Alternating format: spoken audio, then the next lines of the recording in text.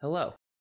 This video demonstrates the process of enabling and configuring email alerts in Dell PowerProtect Cyber Recovery.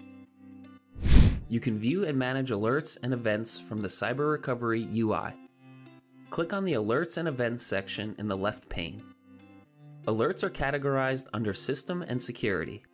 System alerts indicate issues like failed components.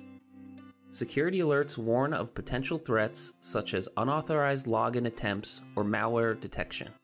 Events log system activities include job starts, retention log completions, and user login updates.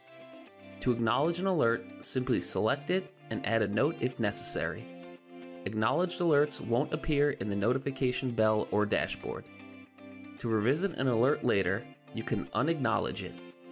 Click on the alert or event to display the details panel, which shows additional information and steps to remedy any issues.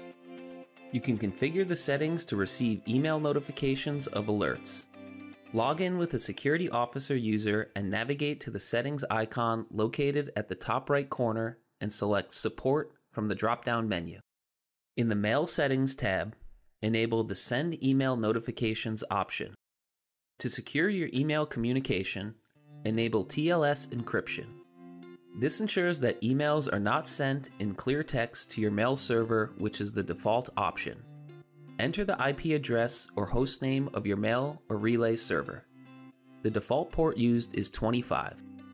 If you're using a postfix mail server or have data diode configurations, additional steps are required.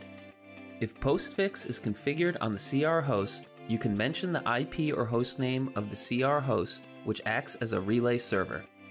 There are additional configurations required in the main.cf file. Refer to the product guide for detailed instructions. If TLS is enabled, a mail server certificate is required for an additional layer of security when sending messages. During the initial configuration, you should see an option to verify the certificates which accepts and saves the mail server's certificate.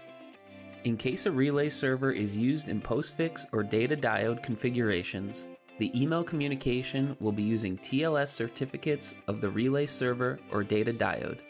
Refer to the documentation for more details on generating self signed certificates. Note that if the certificate is expired, email communication will fail. You will see an alert indicating the certificate expiration 30 days before the expiry date. To resolve, click on Change Certificate and then verify to save the new certificate. The sender's email address will appear as the sender in the recipient's inbox. You may customize this address if necessary. Optionally enter the username and password for the mail server. For added security, domain restrictions can be configured by the security officer to allow only the domain specified to receive alert emails. Click on Save to apply the new email alert configuration.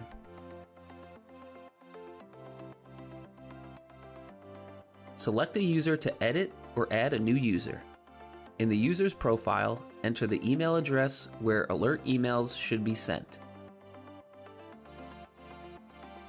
In the Alert Notification section, set the alert preferences for the user. You can select it to receive critical and warning alerts based on your preference for specific users. To ensure the configuration is correct, send a test email.